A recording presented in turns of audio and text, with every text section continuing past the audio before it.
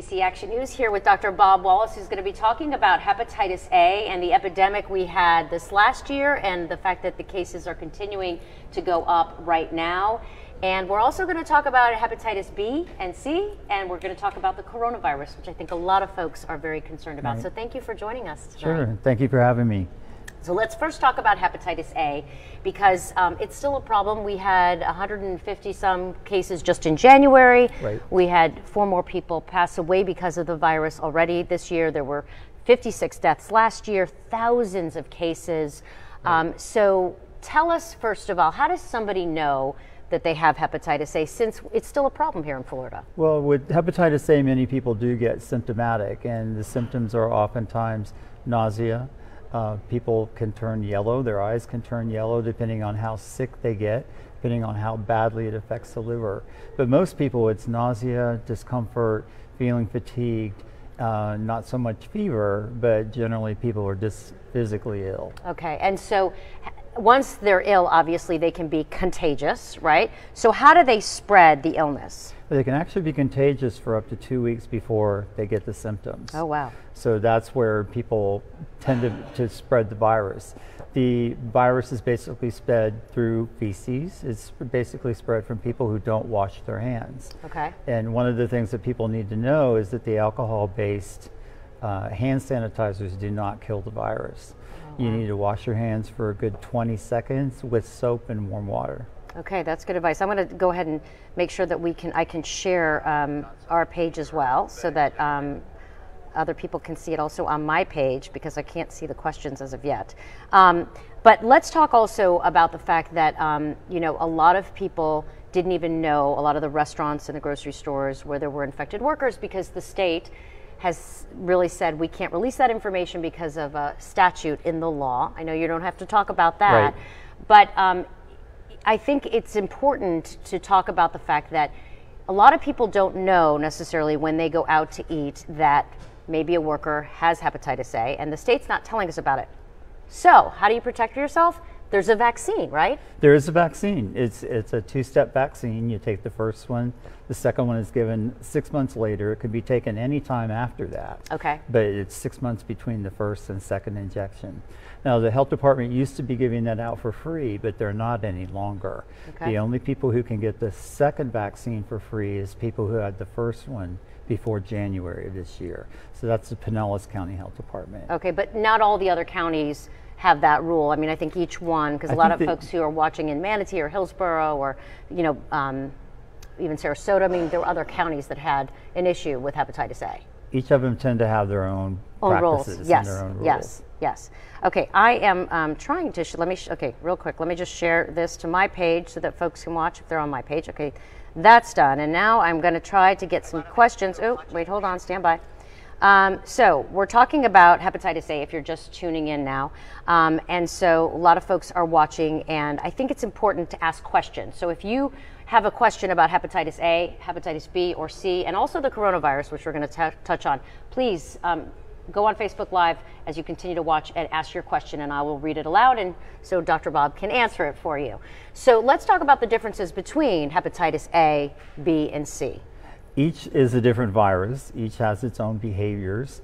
The hepatitis A is generally a, a short-lived illness. Most people are well and pretty much recovered within two months. It could be up to six months.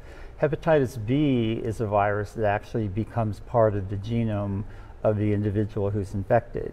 It's something called uh, covalently closed circular or CCC DNA. That's way, that gets too, inserted, that's way too many gets, words in one that I could even repeat. it does. It gets inserted into the genome of the cells, so right. the cells become factories for hepatitis B. We don't cure hepatitis B. People go into a remission state but they can be reactivated. You see commercials on television for the newer drugs, the biologics, that they can trigger a flare of hepatitis B. So we need to know about hepatitis B before we start people on other treatment, including treatment for hepatitis C. Okay. So have you seen a higher number of cases in hepatitis B or C in this area? Hepatitis B, there are about 800,000 people um, with the virus. About 80,000 people a year get infected with hepatitis B.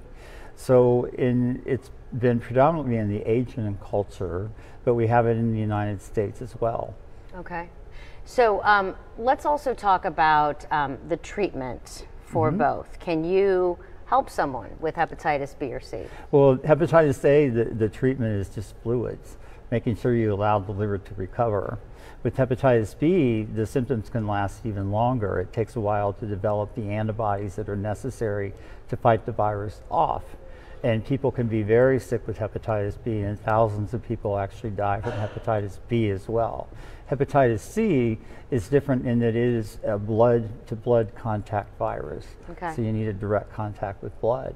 Let's also talk about, again, a little bit more detail with hepatitis A. I'm curious to know whether or not. Um, if because we've talked we talked a lot about it last year especially when it was an epidemic but can it live on surfaces? So if there's a host at a restaurant who doesn't wash her, her his hands well has hepatitis a touches the menu you touch the menu you rub your eyes you put your hands in your mouth you're eating chips and salsa whatever it is, mm-hmm. can you get it that way? Can it live on a surface? It can live on a surface. Okay. And how is it transferred? You said not washing hands but so basically, can it be a microscopic amount that's transferred? It is, and it's hand to mouth. So when people haven't washed their hands, they're going to contaminate themselves. So oftentimes it can be at a restaurant where you're sitting down and you don't wash your hands right before you eat. Or handing a menu, which is a right. Know, a good scenario. Right, right.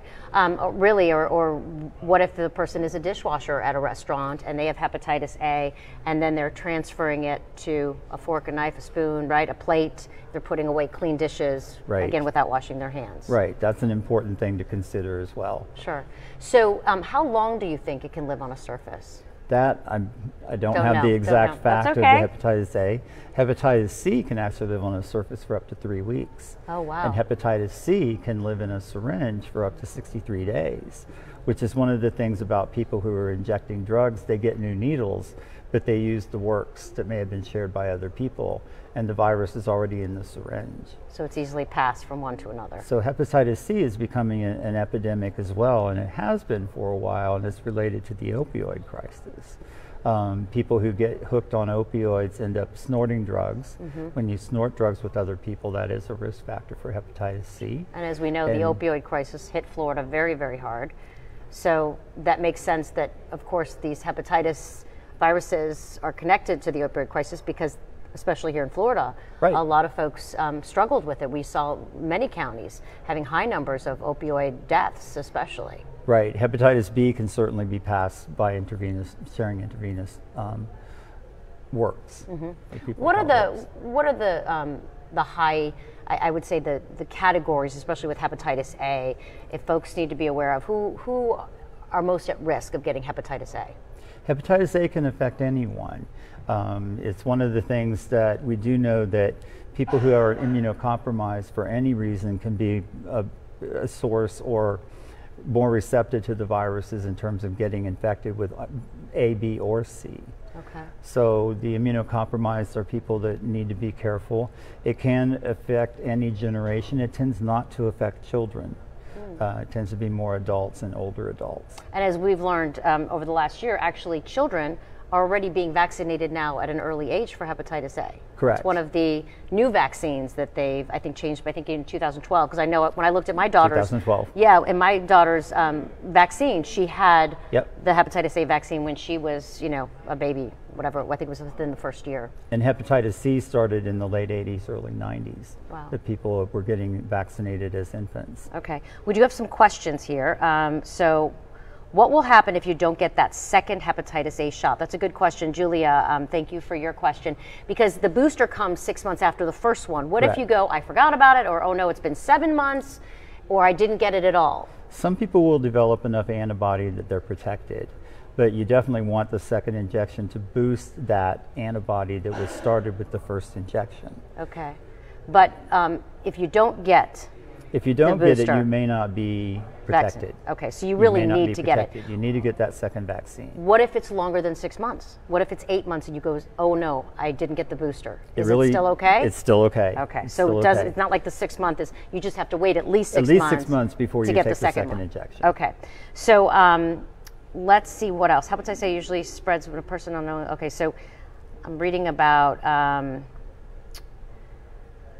oh, okay talk about caring for someone in a nursing home who might have hepatitis A or who may spread it. I would think nursing homes and hospitals, especially, had quite a few cases because it is easily spread. You're all so taught is, teaching the from- same things, right? And and changing diapers on the elderly, you're Sure. certainly going to put a bigger risk. Um, hand washing is not going to be as easily done in many of the nursing homes because it's not they're not accessible to soap and water. Right. They're getting used. They're using the hand sanitizers, which is what I made the point earlier, is that doesn't kill the virus. And that's really important to know because I think a lot of folks, I mean, I know I'm at a dinner table, the first thing I do is pull out my sanitizer, right? If Right. I'm going to eat some bread. Right. Because I think, oh, well, that'll kill everything. But Yep. apparently it doesn't. It doesn't. So you have to have hot, hot You water need and soap, soap. soap, soapy water, Right. warm water, and soap. Okay. Um, so again, somebody's asking about the symptoms of hepatitis A. Let's go over those again. Well, many people will begin to feel nauseated early on in the illness. Uh, as the illness advances, the liver starts to fail, and people will get jaundice, which is the yellow pigment that people will see, and the eyes will look yellow, or the skin can look orange. The stool will be clay colored, the urine will be very dark. You know there's something wrong when you start seeing your excretions. So it's the type of thing that, that those are the symptoms that come up that usually lead people to get help. There's not a treatment that will help you other than just avoiding fats, avoiding meat, sticking with fruits and vegetables and juices just to keep yourself hydrated during that time period. And usually it's about two weeks that people will be sick, but it can be six months that people will still feel ill. Wow. And let's talk about what it does to the body because I think a lot of folks are very scared about hepatitis A when they hear it and it's been an epidemic and and you know they know it they know it's contagious and but what if you get it? What does it do to the body? Because I've heard some people say they they they might need a liver transplant, Right. Um, because it does affect the liver, right? Is that It what it goes affects the liver. The, the virus is specifically to the liver cells. So when you see the liver get infected, the people who are at risk are people who have other comorbidities. Um, people with HIV, for example, people who are immunocompromised from some other reason, um, or the older population who just can't recover. Alcohol and people who are alcoholic, who have alcoholic liver disease, are at greater risk of dying if they get hepatitis A. But the general healthy person who gets hepatitis A, it's going to be a self limited illness and it doesn't reach a chronic carrier state. And how do they treat it? You basically with just fluids. Just fluids. Yep, So you no go into the hospital. There's no medications. There's not a They can, fix. they can give you treatment for nausea. They can use drugs like Zofran or Phenergan or some of the older drugs that we've used to help the nausea. Right. So you can definitely treat those symptoms and you can get hydration, intravenous hydration if necessary. So people who are hospitalized, that is the treatment. Okay. Um, and the main thing is really encouraging everybody to get vaccinated. It's available to us and it's something that's effective. Well, that's the first thing I did when I heard about it because let's be honest, we live in Florida. We all, most of us go out to eat, Right. um, and or even at the grocery store because there were grocery store workers Right. who also had hepatitis A, and if they're dealing at the deli or what have you, or they're packaging meats, it's it can be spread through. It's a foodborne illness, right? So it can be It spread through Through food. food. So I just thought I'm not going to stop going out to eat, right? I'm not going to stop. I'm not going to just, you know, grow my own farm and never go to a grocery store again, right? Right. So how do you protect ourselves is to get a vaccine. So I think Yep. it's you make a really good point, which is you have to get the vaccine, and oftentimes um, your health insurance will cover it too. They will cover it. Yeah. Medicaid and Medicare will cover it as well. My health insurance covered it as well. Yep. And they don't cover a lot of things, but they Right, did cover that. right. It is something. It, it's you know it became a public health emergency uh, as of the summer of last year, and when you see a public health emergency, it raises a lot more red flags that you're going to get people really involved and try to get them taking care of themselves. All right, so let's talk about the. Um, I'm looking to see if there are any more specific questions to hepatitis A, and then we'd like to talk about um, the coronavirus too, because I think a lot of folks are very concerned about that right now.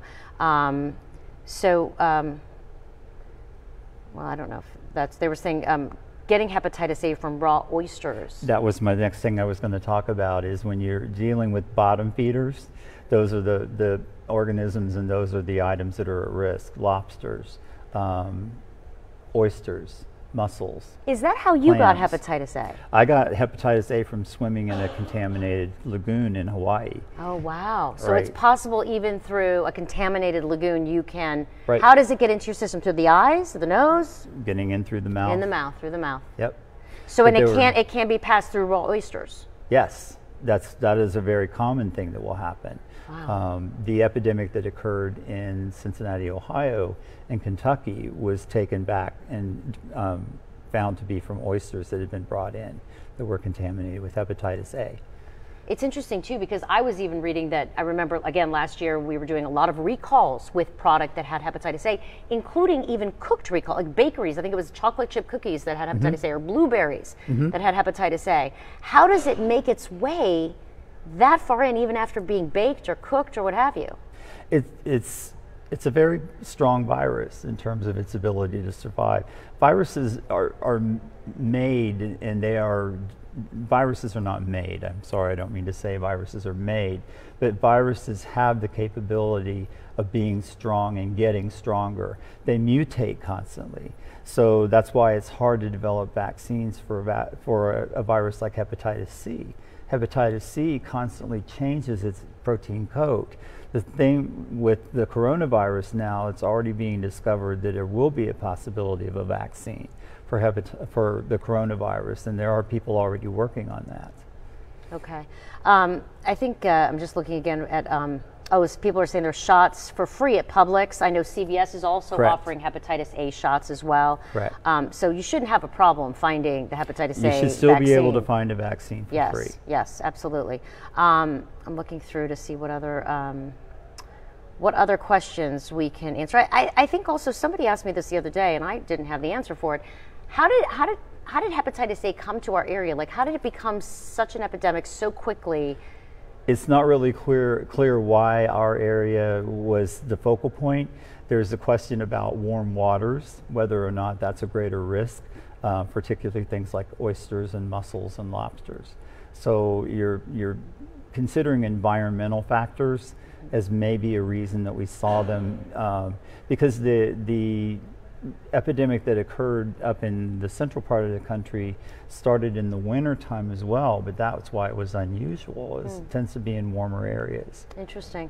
Um, and I want to answer Terry Davis's question because we just went over this. She said, "Is there a place to get the vaccine at a low cost?" She doesn't have insurance. And Terry, as we were discussing, some places even offer it for free. Some of the health departments, I think, still do, depending on. I know the first shot, not the second shot, Right. the booster, but the first shot. So you may want to check with your local county health department because they may already be offering it, or especially if you're if you have a compromised immune system, I would think even your doctor might be able to offer it at a lower Correct. cost anyway, Correct. right? And most health insurance coverage does, they, the health insurance does cover it, but not all. She said she doesn't have health insurance, but certainly I would think, um, you know, someone could offer it to her at a lower rate. Um, Well, it's, it's difficult for private practices to be able to maintain vaccines because they expire.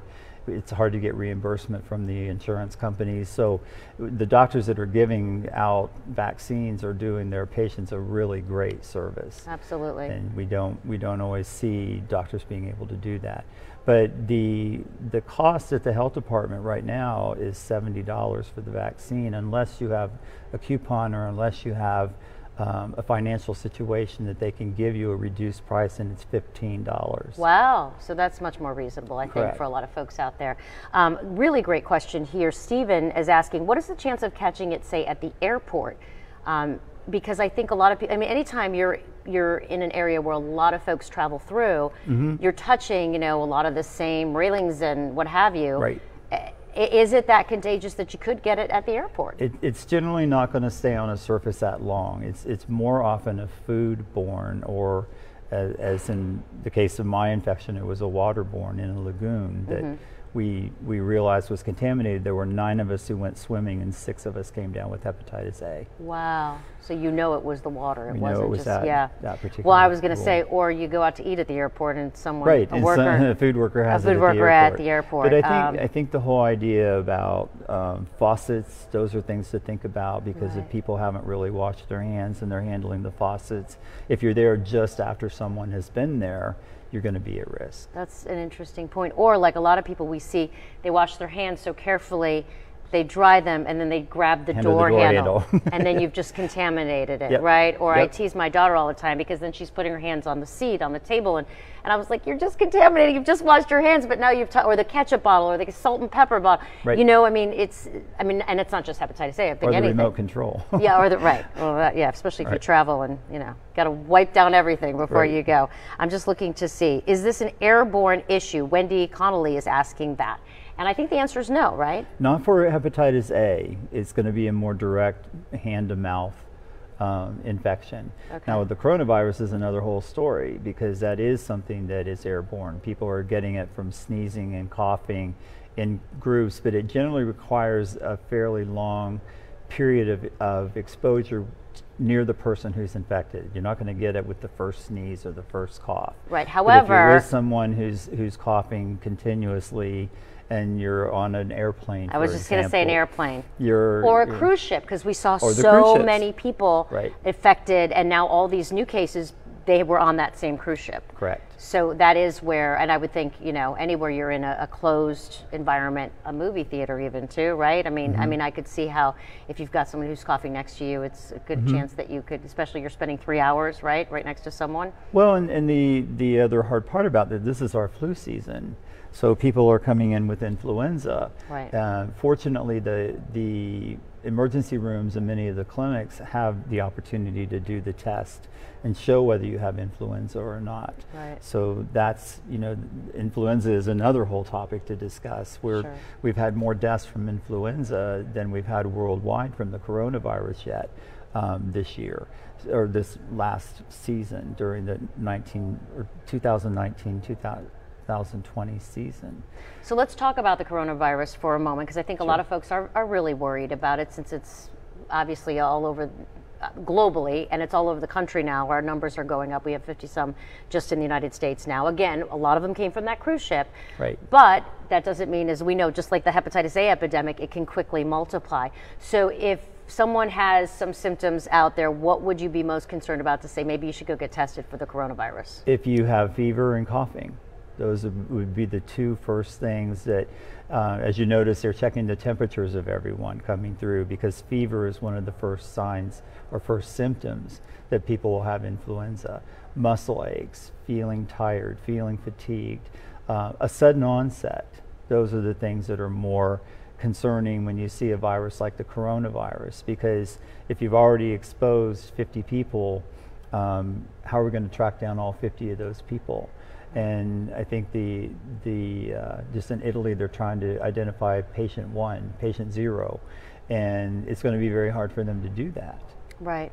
So, um, and and unlike I think hepatitis C and a lot of it, it doesn't it doesn't live on a surface, right? So these people at the ship, they all get it, but it's been in the It's, air. it's been airborne, Airborne. from people who have carried it. And the, the interesting thing is the original coronavirus is derived from bats. Bats are the carriers, they infect animals. Animals then infect other animals. Animals can then, it can mutate and become a human virus. And not all viruses will then be passed from human to human, but this one is. Um, so that's making it more fearful for a lot of people. And you're finding that surgical masks are just not available right now. Mm, right. Um, there are people in the United States that are making surgical masks that are being shipped to China, which has never happened. Right. Um, because they're out. right. They're, They're, out of sold out because it's it's and, and really we need them here too in case Correct. this does become an epidemic. Hope Correct. not, but we do need them here We just in case. All right, Dr. Bob Wallace, thank you so much for your time here and sharing your Sure. knowledge. I think there's a lot of folks out there who have um, a lot of questions, and I think you've answered many of them tonight. So thank We you. so. And I also want to um, say that tonight at 11 on ABC Action News, we are really going in depth into this, and I'm also going to be talking to the Surgeon General about why so many cases were kept a secret, thousands of cases kept a secret, and the deaths kept a secret. Um, because of a statute in the law. That's coming up tonight on ABC Action News at 11. You'll hear from the Surgeon General and you'll hear from a lot of folks who are very worried about the hepatitis A epidemic and the continual cases that we see right now.